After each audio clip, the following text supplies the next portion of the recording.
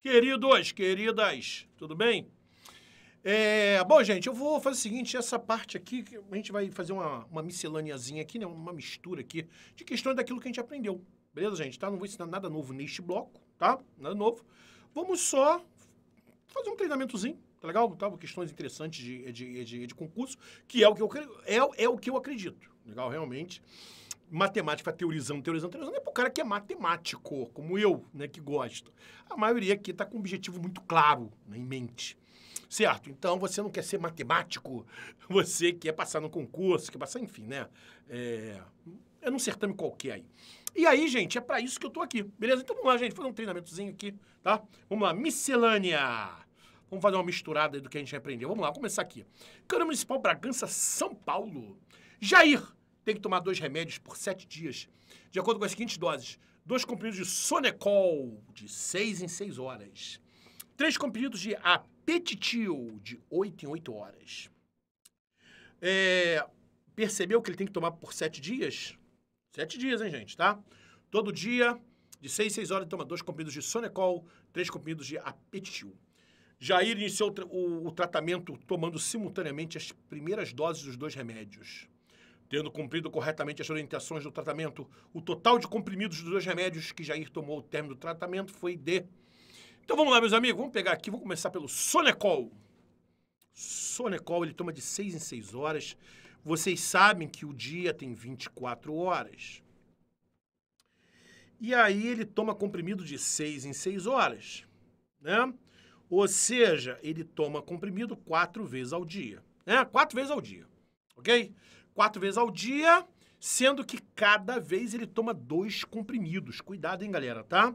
Ele toma dois comprimidos. Ele não toma um, não. Toma dois. Ou seja, por dia, por dia, ele toma oito comprimidos. Por dia. Já o apetitil... Rapaz, acho que vou tomar esse remédio, hein? O que, que você acha, Christian? Preciso tomar um remédio para abrir, abrir o apetite né? Para ficar legal, né? Pá, então. Apetil são de 8 e 8 horas. De 8 e 8 horas, então 24 horas, divide por 8 horas, né? Ele toma 3 vezes ao dia. Não é isso, gente? 8, 8 horas, divide 24 por 8, tá legal? Inclusive, gente, vem comigo, gente, vem comigo. Inclusive, tá legal até fazer um, um comentário aqui, mas já que a gente está é, aprendendo, né? O comentário é relevante. Repare que a quantidade de. É, é, é eh, o número de horas né, que, eu, que, eu, que eu levo para tomar de um, de um remédio em relação ao outro, repare que normalmente é assim. É uma vez ao dia, né? Ah, toma uma vez ao dia, né? Tá tudo bem. O cara fala assim, ó, geralmente é de 8 em 8 horas, de 12 em 12 horas e de 6 em 6 horas. Né? Às vezes 4 em 4, né? Se cara, né? Mas de 8 em 8, 6 em 6, 12 em 12. Por quê? São números que dão para dividir pelo 24. Né, galera? Tá? O 24 é, divis é, é, é, é divisível por eles. Eu consigo pegar de 24 e dividir por 6, dá 4. Pego 24 dividido por 8, dá 3 vezes. Pego 24 dividido por 12, dá duas vezes. Ou seja, são números que são divisores do número 24, né? Dificilmente, dificilmente você vai pegar aqui um remédio, o cara dizer assim, ah, você toma esse remédio de 7 em 7 horas. Porra, 24 não dá para dividir por 7, né? Então, não, vai aí, aí, aí vai ficar diferente, né? É, de um dia para outro. Não é isso, galera? Aí não tem muito sentido, não é legal? O objetivo é que se eu tomar o remédio hoje 8 horas da manhã, é, no dia seguinte eu tome remédio 8 horas da manhã. Né? E para isso tem que ser um, um, divisor do 24, né? Bacana. Então, repare que tudo, tudo tem, tem, um fundo matemático, né? Então, lá, galera, 24 dividido por 8 dá 3 vezes ao dia, só que aqui eu tomo 3 comprimidos, né? É isso mesmo? 3 comprimidos de apetitil. Tô precisando tomar esse remédio, né? Eu tô comendo pouco, cara. 3 vezes 3 dá quanto? Dá 9 comprimidos por dia. Isso significa que o. Qual é o nome do cara que eu esqueci, cara? Qual é o nome dele? Jair. Significa que o Jair ele toma 8 mais 9. Ele toma 17 comprimidos por dia. Por dia. Nossa senhora, toma 17 comprimidos por dia. O cara tá quase com hipocondríaco, né? 17 comprimidos por dia. Mas aí a pergunta do cara não foi por dia, foi de 7 dias, né? 7 dias nós vamos pegar esse aqui, vamos multiplicar por 7. 7 vezes 7, 49, vão 4. 7 vezes, 7 vezes 1, 7. 7, 4, 11. Então ele tomou 119 comprimidos em 7 dias. Nossa senhora, meu lindo. 119 comprimidos é letra D. É D, é D, é D. É D, é D de dado. Show de bola, galera. Então aqui, ó, só conceito básico, gente. Só conceito básico. Divisão, multiplicação, entendeu? Tal, tranquilo. Câmara Municipal, gente. Câmara Municipal, isso aí. Uma próxima, uma próxima, uma próxima. Bem! É, esse aí é para magistério, né? Magistério aqui. Esse aqui foi magistério aqui do Rio. João escreveu todos os números naturais de 47 a 250. Qual é a quantidade de algarismos aqui, gente? Aqui é importante. Vem comigo, galera. Vem comigo. Aqui é importante nas primeiras aulas, você não confundir número com algarismo. Tá vendo aquelas coisas que parecem boba, né? O cara ficou enchendo o saco lá com o nome, né? Ah, a gente tem 10 dedinhos, a gente tem 10, dedinhos, por isso que sistema é decimal. Palhaçada, porra! Não é, não é palhaçada, tá vendo? Aquelas, aquelas aulinhas lá de algarismo, número, a diferença de algarismo e número, gente, aqui, ó, aparece aqui, né? Por exemplo, o número 52, é é um número, 52, mas ele é composto de dois algarismos. E é isso que ele está perguntando aqui, quantos algarismos, está perguntando quantos números. Está perguntando quantos números. Aí eu escrevo do 47 ao 250. Quantos números, né? Eu, eu escrevi, não. Ele não perguntou, ele perguntou quantos algarismos. Hum, garotinho. Não pode dar mole, não, né? Então, olha aqui, vamos lá, vamos voltar lá, vamos voltar lá. Vamos, DJ, DJ Christian. Então lá, João escreveu todos os números naturais de 47 a 250. Bom, galera, então nós temos aqui números com dois algarismos, né? 47 até 99, né? 47 até 99. E ainda nós vamos fazer separado, tá?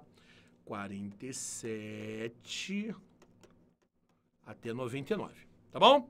De dois são todos os números de dois algarismos, né? E depois a gente vai fazer do 100 do 100, né? O 100 é o primeiro com três algarismos, até 250.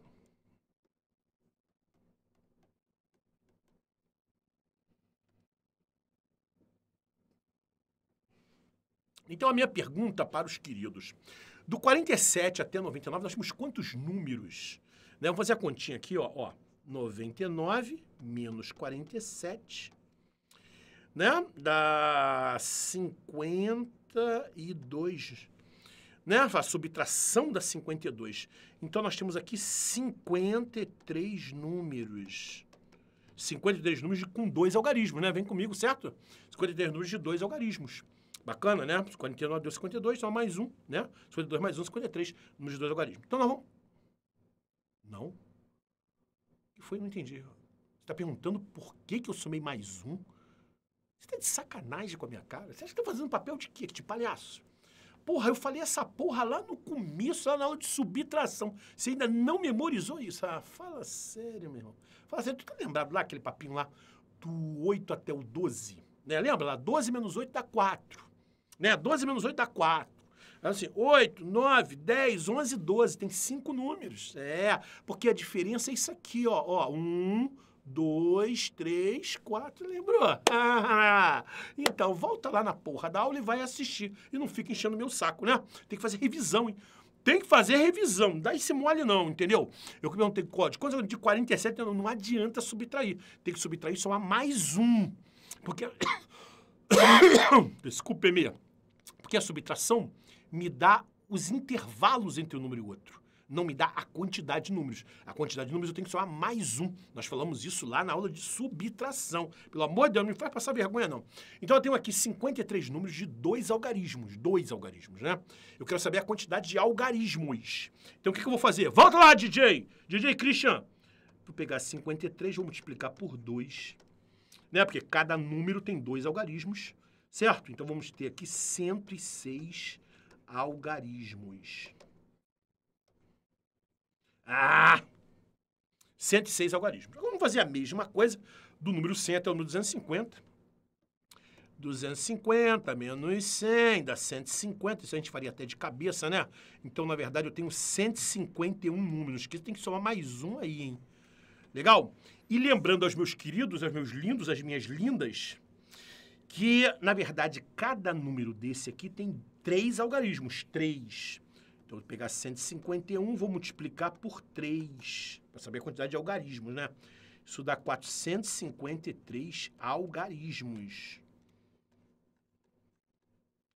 Cada número tem três algarismos, certo, gente? Tá? Então, do 47 até o 99, eu gastei 106 algarismos. Do 100 até o 250, eu gastei 453 algarismos. Qual é o total de algarismos? Qual é? Eu vou... Ih, rapaz, tem que voltar aqui, né? Vou pegar 106, vou somar com 453. Aqui vai dar 9, aqui vai dar 5, aqui vai dar 5, 559 é gabarito B de beijo. Deixa eu botar o preto não, né? Porque o preto ali não, não realça, né? Não realça. B de beijo. Show de bola, meus lindos. Ó, questão clássica, quem vem comigo, questão clássica, tá, gente, tá? Bota um asteriscozinho aí, tá legal? Ah, esse curso aqui não é um curso que priorize exercícios. Tá legal? Aqui, o, o, a função do exercício aqui é só ilustrar a aula. Certo? Né? Se fosse um curso normal, eu faria muito mais exercícios, tá? Mas, pô, você tá onde? Você tá onde? Você tá onde? Você tá no Tec Concurso. Tec Concurso, qual é o forte do Tec Concurso? Qual aquilo que ele é foda? Essa é a resolução de questões, né, gente? Tá? Não tem igual.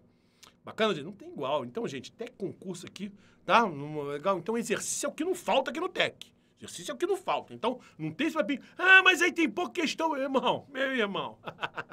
não me faça rir, né? Não me faça rir. O TEC é foda em questões. Foda! A próxima, vamos. Metrô São Paulo. Galera, eu queria chamar a atenção aqui, a técnica aqui de divisão, tá? e fugindo um pouco daquele, daquele lugar comum de dividir números né, comuns. Aqui a gente vai dividir minutos e segundos. Eu queria chamar bem a atenção de vocês para isso aqui. Vamos prestar atenção aqui, gente.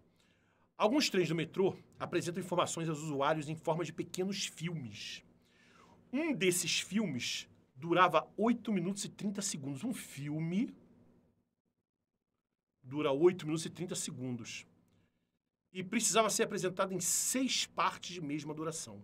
Então, gente, eu vou pegar esses 8 minutos e 30 segundos, vem comigo, galera, e vou dividir em seis partes iguais. Seis partes iguais. 8 minutos e 30 segundos, dividir em seis pedaços. Pá, pá, pá, pá. Que conceito é esse? Primeira pergunta, qual o conceito que eu vou usar? Pegar um número maior e dividir em partes menores. Tá vendo como é que o conceito é importante? Que operação eu estou fazendo, gente?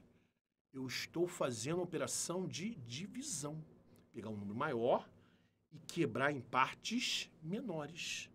É isso, gente, né? Dividir em partes menores. E ele falou de mesma duração. Então, é divisão, né? Pegar 8 minutos e 30 segundos. Vamos fazer aqui, ó. 8 minutos e 30 segundos e vou dividir por 6.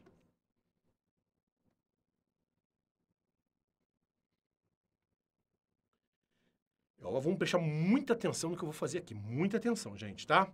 Isso que eu vou fazer, se tivesse hora aqui, seria a mesma coisa. Hora, minuto, segundo, seria a mesma coisa. Bom, eu vou começar dividindo pela esquerda aqui, tá? Pegar 8 e dividir por 6. 8 dividido por 6 dá 1. 8 minutos dividido por 6 dá 1 minuto. 1 vezes 6 dá 6 e sobram 2 minutos. 2 minutos dividido por 6 não é uma conta exata. Né? 2 por 6 não é uma conta exata.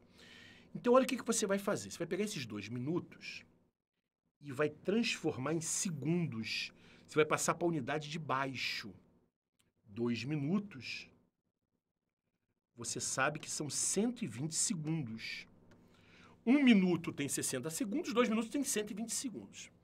Você vai transformar em segundos, vai somar com os segundos você já tinha, você já tinha 30, né? Você vai ficar com 150 segundos. E agora você vai continuar a conta normalmente. 15 por 6 dá 2, 2 vezes 6, 12, para 15, 3.